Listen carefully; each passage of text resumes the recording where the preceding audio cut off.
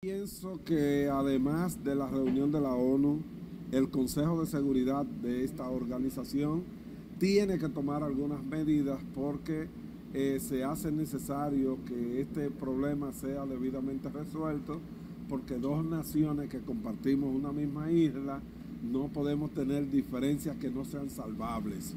Pienso que esta también es una diferencia salvable. ¿Cuál es el problema? Que en Haití en este momento prácticamente no hay gobierno y por lo tanto debe intervenir la comunidad internacional que está a punto de tomar medidas eh, serias con relación a la nación haitiana.